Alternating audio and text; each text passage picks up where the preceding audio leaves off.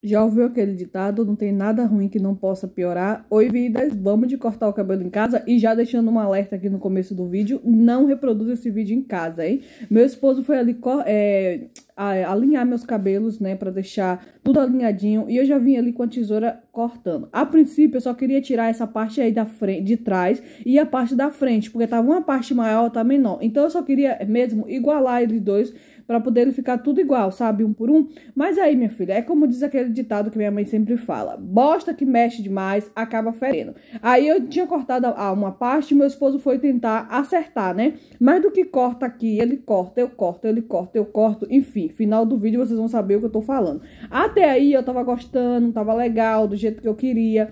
Tava fluindo o negócio, entendeu? Tava tudo alinhado um por um. Mostrando pra vocês o meu couro cabeludo, gente, que tá bem vermelho. Eu há tem um tempo falando pra vocês que o meu couro cabeludo tá muito sensível. Eu acho que eu tive uma alergia doendo no meu couro cabeludo. Porque até o pente que eu passo ou o dedo acaba doendo muito.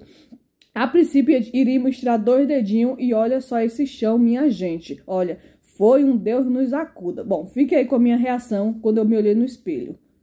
Que palhaçada foi essa?